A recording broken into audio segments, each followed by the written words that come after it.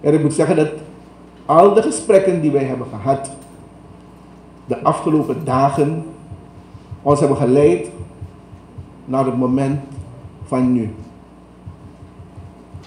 En dat is dat wij als NPS tot de conclusie komen, helaas, dat wij niet verwachten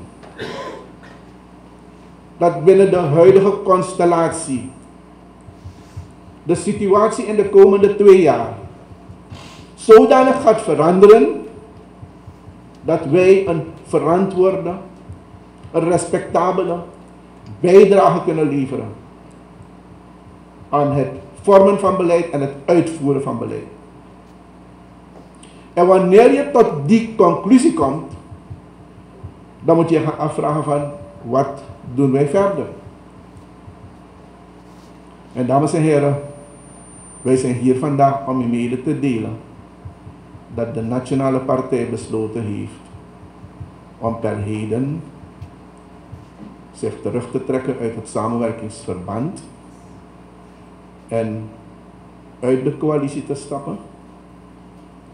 En in ieder geval waar het geld binnen de Nationale Assemblée een autonome fractie te gaan vormen.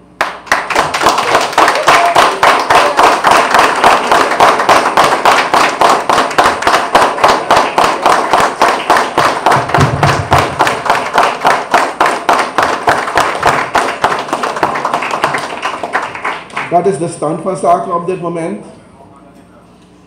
En wij zullen ook onze ministers de instructie geven, maar dat is het politiek niveau, om aan de hand van dit besluit hun portefeuille ter beschikking te stellen.